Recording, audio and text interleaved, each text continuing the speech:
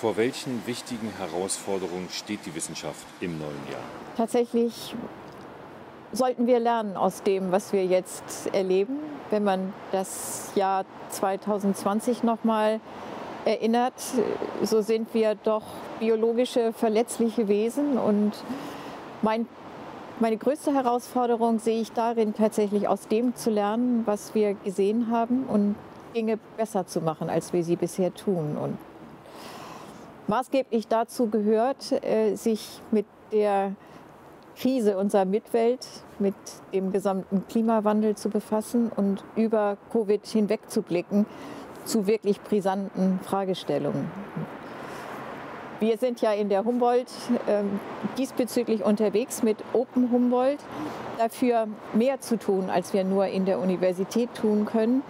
Und als Universität äh, verändernd auch mit der Gesellschaft zusammenzuwirken. Und dafür machen wir Open Humboldt und das ist eigentlich mit eins der großen Projekte, was ich 2021 gerne voranbringen wollte.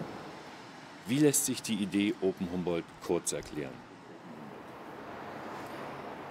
Das ist äh, das Alte in neuem Gewand, die Humboldt als Gestalterin auch einer Zukunft. Es ist für uns eine Strategie, unsere Wissenschaft nach außen zu bringen und in ein Gespräch mit vielen, die sich dafür interessieren. Äh, das Neue ist, dass wir auch aktiv mitnehmen, was tatsächlich die Antwort auf unsere Erkenntnisse, auf unsere Ergebnisse ist um sie mit dem zu verbinden, was in den verschiedenen Disziplinen geschieht.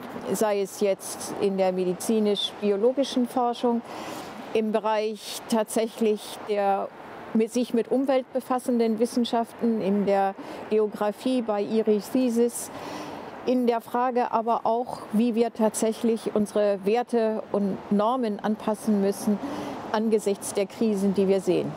Warum brauchen wir tatsächlich ähm, die Arbeit mit denen, für die wir sie tun, auch mit als ein Aufgabenfeld von Universität noch mal stärker ins Gedächtnis zu rufen und zu reaktivieren.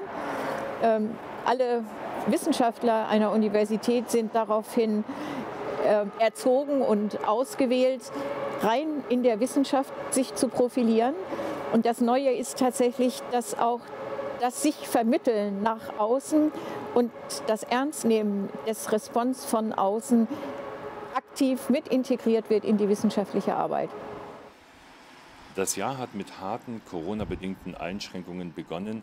Wann wird die Humboldt-Universität wieder in den Normalbetrieb übergehen? Ja, das erfordert jetzt den Blick in die Glaskugel. Ich glaube, richtig seriös weiß es im Moment niemand. Auf jeden Fall wird es im Frühsommer besser werden. Wir wissen, dass beispielsweise öffentliche Veranstaltungen erst mit besser werdendem Wetter zum Frühjahr überhaupt erst wieder denkbar sind. Und so lange müssen wir ausharren. Den Winterschlaf als kreative Schaffenspause nutzen und uns ganz systematisch vorbereiten, tatsächlich aus dem, was wir jetzt erleben, zu lernen für die Zukunft.